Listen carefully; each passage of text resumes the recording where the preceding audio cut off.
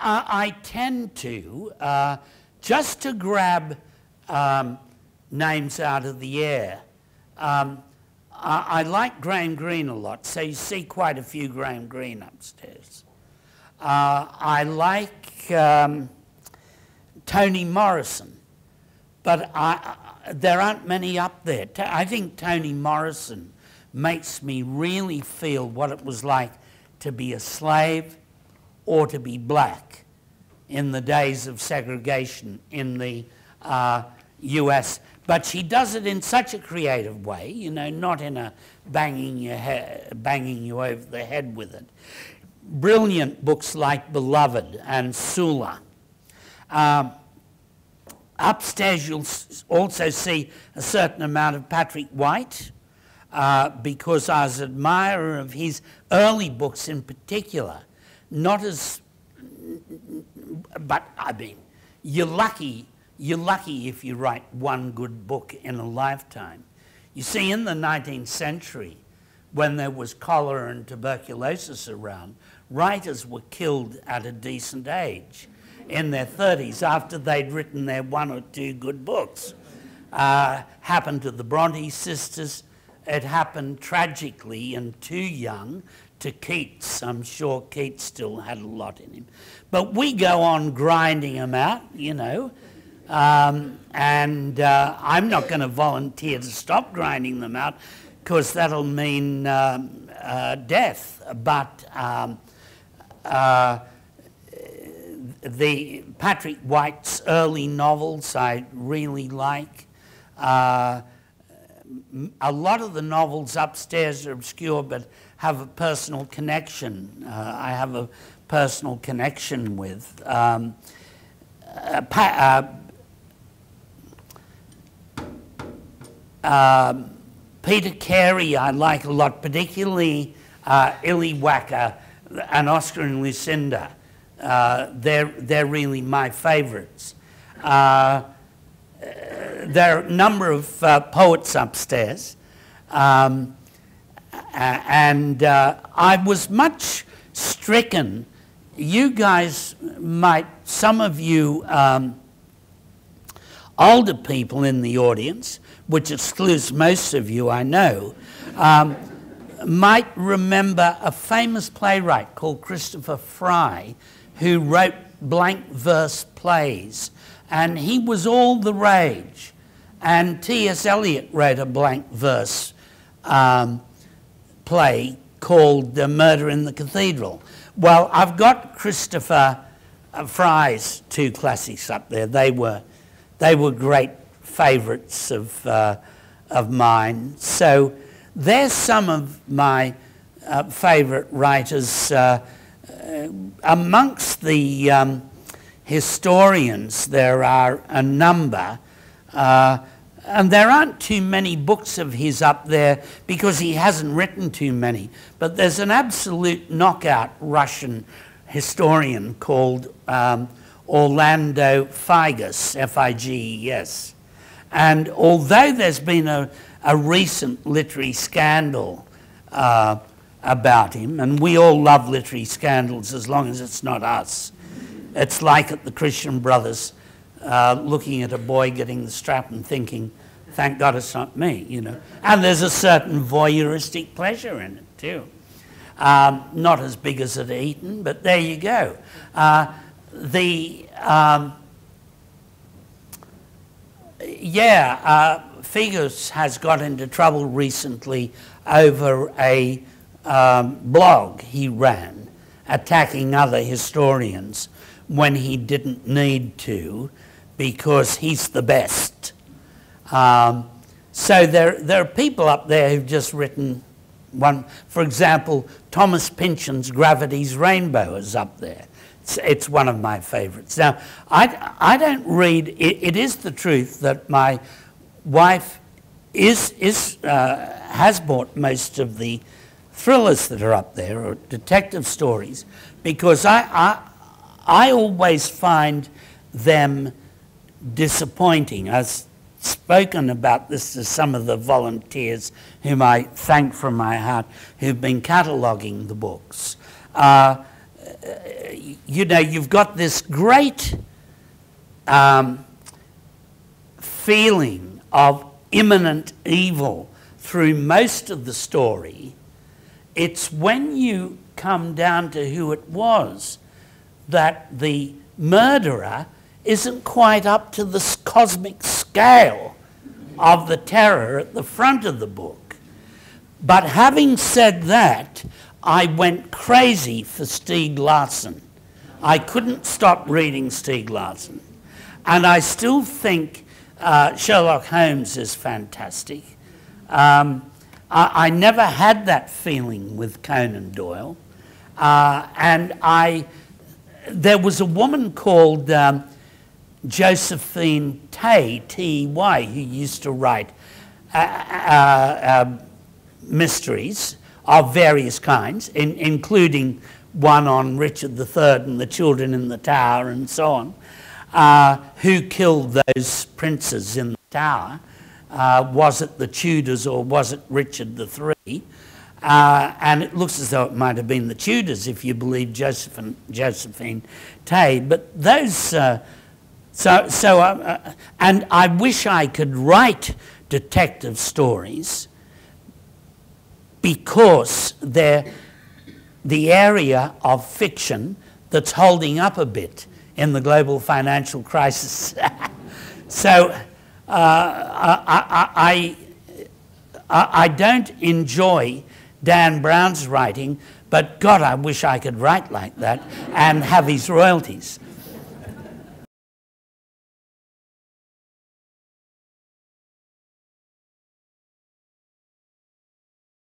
Um, I don't know if the poetry of Gerard Manley Hopkins uh, is up there yet.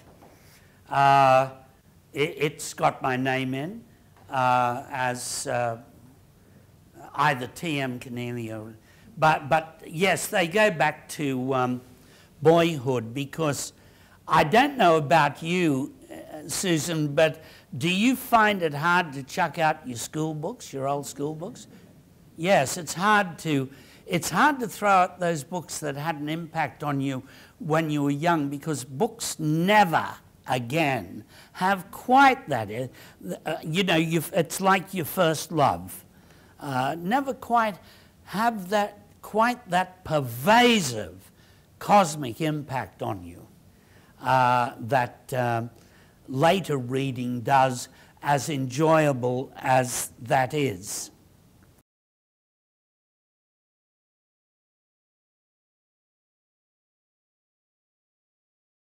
Um, I, I look in particular to two sources for primary sources on Australian history. And one is um, Project Gutenberg, which has all the journals of the explorers on them. I've got a two volume history of Giles's travels in uh, expeditions in, in um, uh, Central Australia, and, uh, but you can get it all through Project Gutenberg. Uh, I read, for example, uh, for World War I, uh, the work, a, a novel called Her Privates We, uh, and unfortunate, but it's her privates WE, which is about an Australian serving in a British regiment on the Western Front, and it's on Project Gutenberg. But I was writing about the front, reading about the frontier wars in Queensland, which were very bitter and savage, because by then, by the time the pastoralists were settling Queensland, they had Snider and Martini Henry rifles, which would shoot uh, with rapidity. Uh, they were repeater rifles. And so um, the, the savagery of the frontier wars up there and the amount of blood uh, spilt was considerable. Now, I remember there was a remarkable policeman up there called Wiltshire and Wiltshire had um, gone out whenever a white man was speared, someone on the Overland Telegraph, and taken his native policeman with him, and they had hunted down the miscreants. But on the way, they do a lot of damage because the native police were recruit, recruited from down here in New South Wales and along the Murray. And so they um, uh, had no fellow feeling with the North Queensland uh, Aboriginals. So Wiltshire wrote a book about all this. He wrote it as an adventure. He's hunting down of the savages and his relationship with his own troopers and his relationship with pastoralists and the question of Aboriginal women and what you did with Aboriginal children who were left over at the end of a search and destroy mission, which is basically what they were. And uh, that book was on a website called archive.org. Um, and what you do is write in archive.org, a website comes up, and you go to texts, and you go to American libraries, not Australian libraries yet. The reason you go to American libraries is that they have downloaded onto the internet more books than we have yet. The State Library has a machine, I believe, which is going to be able to download a whole heap of books uh, onto the internet. But when this book comes up, it has, when these books come up, they have pages. And you, you just turn the page by clicking the mouse and the page turns. Um, and I have to say, even though I'm about to be made obsolescent by technology, that it's admirable uh, technology. And uh, uh, the books one would have had to either read in the State Library or track down through an antiquarian, a second-hand bookseller, uh, once are all there. Um, and uh, that, that is wonderful. Um, blackbirding, capturing South Sea Island, particularly Vanuatuan uh, natives to work on the sugar plantations.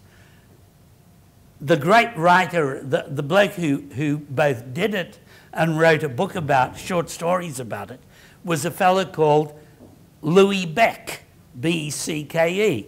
And uh, all his material on that subject is on Project Gutenberg. So, um, you know, we don't need as many books as we did. It's, uh, it, it's uh, interesting time, but I don't think we can, uh, it's terribly convenient. The convenience is going to win out. Um, in the end, but it may still be convenient to have the hard copy uh, and underline it in, with your own, mark it with your own marker.